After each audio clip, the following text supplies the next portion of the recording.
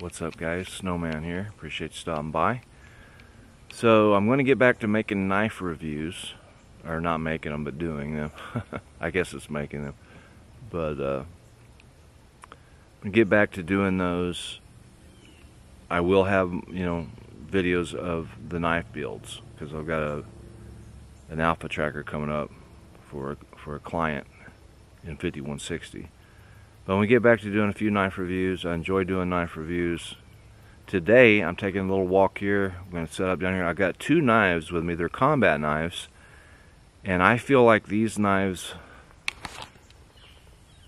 are kind of pretty much underrated, particularly one for sure. The other one, I think there's quite a bit of, uh, uh, quite a big following for it.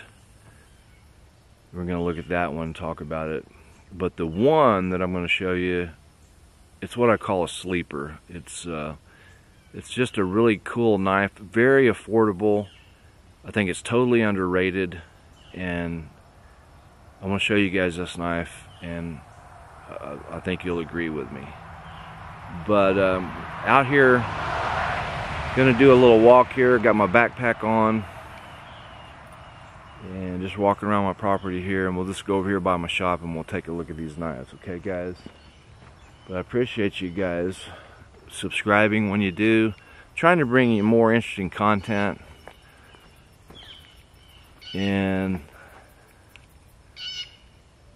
try to make things interesting but I'll I'll admit I'm not I'm not the best you know YouTube editor guy and I'm not uh, I'm not really that good as far as editing and, and doing all these really cool stuff with videos. I'm I'm a uh, what they call a Generation Jones. I'm the last of the boomers. You guys know the, the boomer generation. I was born in 63 and 64 is the cutoff. So there's some people out there who call us the, uh, it's from 1954 to 1964. We're called the Generation Jones. Like keeping up with the Joneses, as you will. if you will, as they say. But yeah, walking out here by my shop and we're going to take a look at these knives and just talk about them. I think you guys will enjoy this. So it won't take long. I'll try to keep this video short. Alright guys, you are looking at two of my picks. These are combat knives. One could be used uh, with some bushcraft. The, the one's a Glock 81 field knife, and we've got the Smith & Wesson SW7S combat knife. We're going to take a look at these. This one is totally underrated. I want to show you this knife. The price of these knives are around 35 40 bucks. I think the Glock may be a little bit more. I haven't I haven't priced them recently, but uh, I've owned Glocks for a couple years now. These two Glock field knives, I just think they're totally cool. I, I go out and you can these make just outstanding throwing knives. You can you can open a pop bottle with it. I mean, how cool is that when you got a knife that can open a pop bottle? But the thing about it is, it's not it's not the pop bottle. That's just that's just an extra little deal that they give you there. It's the serrations on top. It's the high quality spring steel. It's just a well balanced knife, very well made.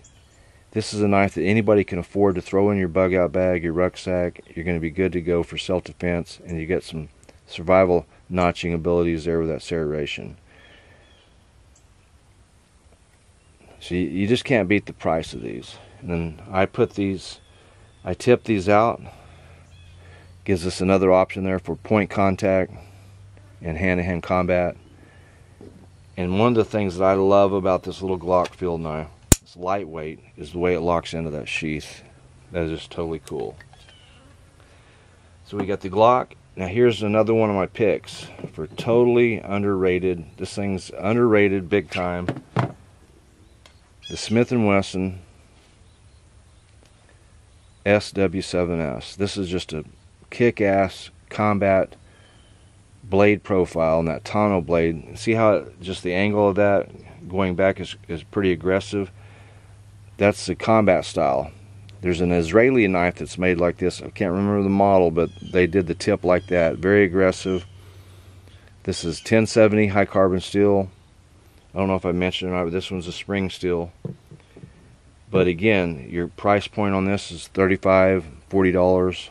Can't beat that. I love that integral guard profile, that Blackie Collins style. It just indexes really nice. And I've just always told people when I show them this knife, you know, here around the homestead, this is a totally underrated knife.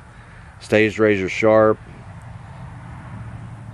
And, uh, and another thing that I love about these is the way they just pop in and just lock into those sheaths. Just really easy access.